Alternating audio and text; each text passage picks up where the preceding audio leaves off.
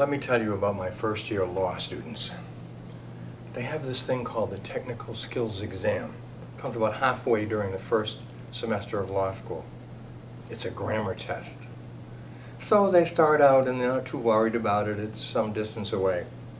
And all of a sudden, it starts to get close and they go, ah, what will I do? What will I do? I try to help them, but I'm not a grammarian. I don't love grammar. I used to hate those little grammar books, the little blocky things that were like weights you had to carry around. But run-on sentences is what we have to talk about today, and run-ons are hard. And I have to try to help you with them. I try to help my kids, kids at law school, and we find that run-ons are hard to get rid of. So if you don't have a problem with run-ons, shut this off, go home, go out and play. You're lucky. but for the rest of us, run-on sentences. Here we go. The first problem, of course, is that my students don't want me to do grammar talk. They don't know what nouns and verbs are and all that stuff, and they start rolling their eyes when I talk about it, and they ask me for one of those bags you get on the airplane so you can throw up, you know. Or I could talk about complete thoughts. That's what they used to do.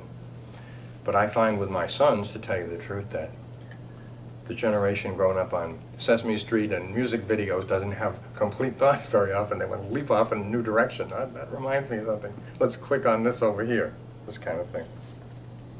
Run-ons are a real problem, though, a real problem. And if you don't master them, you won't get that great job that you want, and you'll burn in hell forever. So we've got to fix you up and do something about run-ons.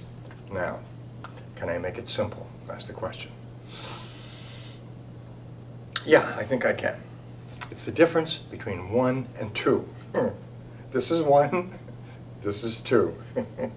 Let's say it all together. This is one, this is two. A sentence is one sentence. It's just a sentence, that's one. A run-on sentence is two sentences. One and two. We can do this, don't you think? Hmm examples, examples, examples. That's what I tell everybody. You have to have examples.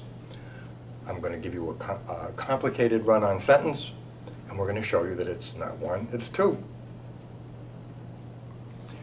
Being kind is important if you want people to like you. It does not seem so important if you're beautiful.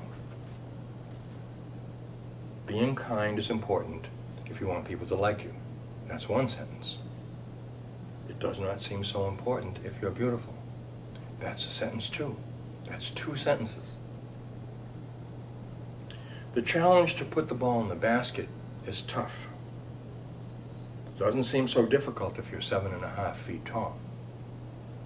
The challenge to put the ball in the basket is tough. That's one sentence. That's one. It Doesn't seem so difficult if you're seven and a half feet tall. That's two. I'm okay. It's the car that's messed up. Don't tell me that when you come home. I'm okay. That's a sentence. It's the car that's messed up. That's two. Two sentences right there. When the doctor asked me what was wrong, I said I'm always tired. He suggested sleep. nice thought. When the doctor asked me what was wrong, I said I was always tired. That's a good sentence. That's one. He suggested sleep. Perfectly good sentence. That's true. There's no place to park in Lowell at 10.30 a.m. on a school day. Many people still try it.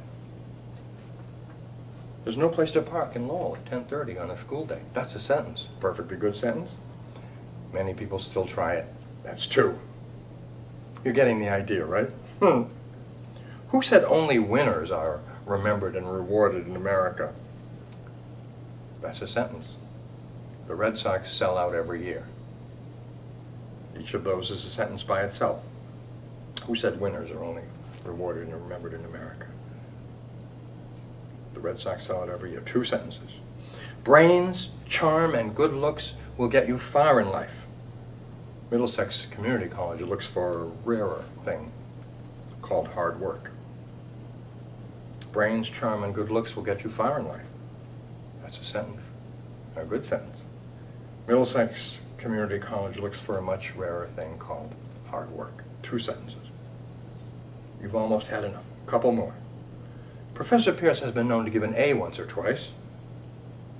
That's a sentence. He's only been here 10 years, after all. So Professor Pierce has been known to give an A one, or, one or two times. Those, that's a sentence.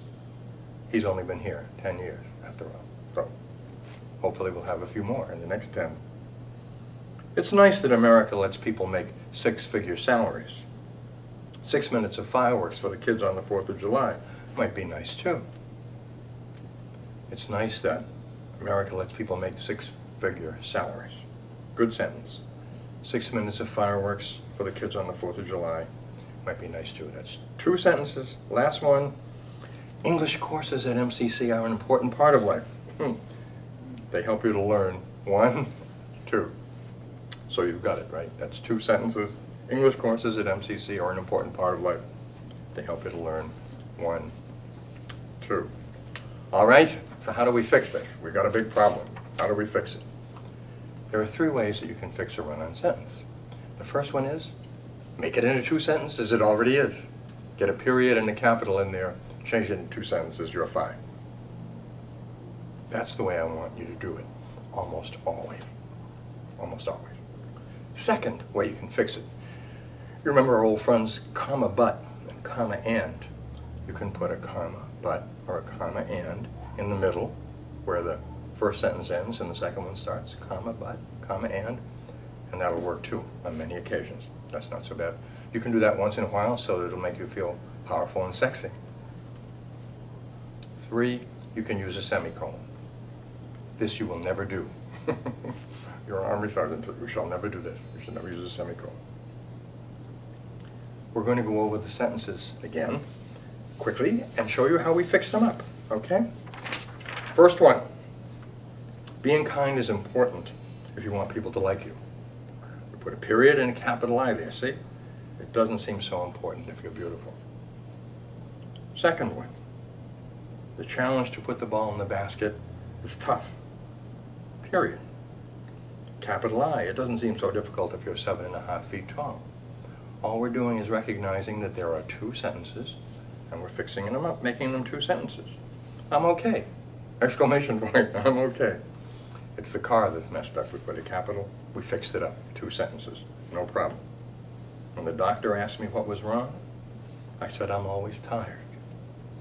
He suggested sleep. That's two, we put a period after tired, and a capital H with he. He suggested sleep. We made two sentences. All right, let's try something different. There's no place to park in Lowell at 10.30 a.m. on a school day.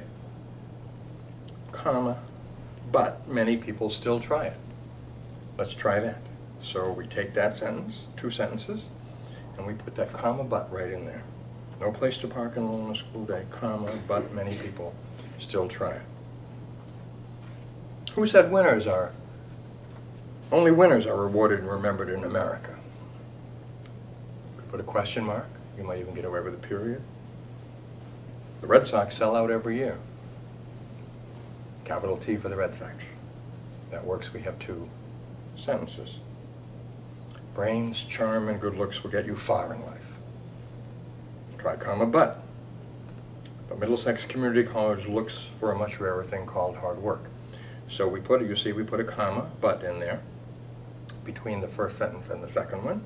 Comma but does it and that's okay too. Professor Pierce has been known to give an A once or twice. He's only been here 10 years after all. Period, we'll put after twice. Capital H, he's only been here 10 years after all. Two sentences. It's nice that America lets people make six-figure salaries. And we'll put a comma there. And but? But six minutes of fireworks for the kids on the 4th of July might be nice too.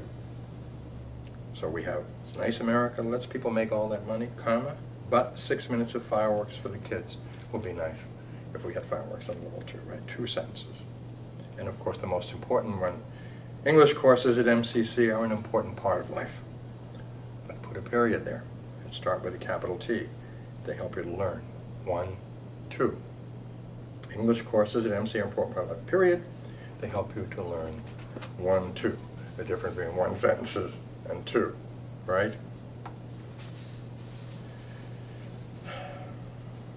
What else do I want to say? You know, the thing about semicolons is that most of my students want to learn correct basic English. That means that simple sentences are fine and we don't use semicolons. Of course, if you come back to me now as a junior at the university and we want to be elegant and advanced rather than simple and basic, we might fool with semicolons a little or complicated sentences. But even my law students, they really need to have a chance to talk to somebody simply and straightforwardly. And that's what we're doing. Simple sentences are fine. Forget semicolons. One, two. One sentence, two sentences. Comma, but. The world is at your feet. Congratulations.